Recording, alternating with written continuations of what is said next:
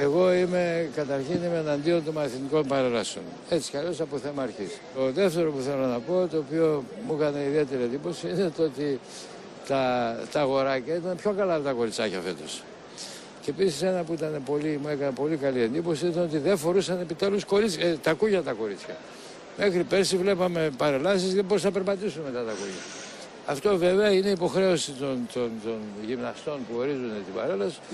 Ήρθες με τα κούνια, αντίο στο σπίτι σου, πάρει και μια αποβολή. Διότι ε, είναι άσχημο το θέαμα. Αυτά. Είναι ωραία μέρα.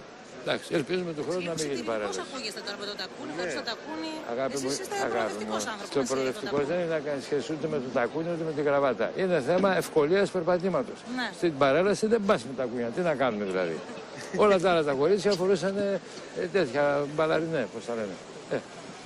Γίνεται να πας στην παρέλαση με τα κούνια; Είμαι κατά των παρελάσεων. Για ποιο λόγο, ναι, γιατί; Σε κανένα μέρος του κόσμου δεν κάνουν μαθητικές παρελάσει.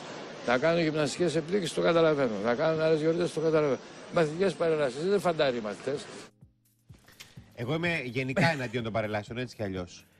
Και Ναι, αλλά μη λες εναντίον τώρα- των ε, μη λες τώρα τακουνιών. τέτοια. Τώρα είναι Θα υπερβολικό. Εναντίον και εναντιωθούν. των ε, στρατιωτικών παρελάσεων. Δηλαδή σε πολλά μέρη του κόσμου έχουν καταργηθεί και οι στρατιωτικές παρελάσεις. Για τη μαθητιό σαν νεολαία. Να σου πω κάτι. Μόνο σε απολυτα... Δηλαδή, όταν σου έρχεται παρέλαση στο μυαλό, τι σου έρχεται. Ο Χίτλερ που περπατάγανε με το Κάτι βήμα αυτό πολύ το φοβερό αυστηρό. κτλ. Ναι, ναι, κάτι πολύ- Η Ρωσία της Σοβιετικής Ένωσης, ας πούμε, η πάλε ποτέ κρεά Σοβιετική Ένωση, που ήταν με το βήμα της Κίνα.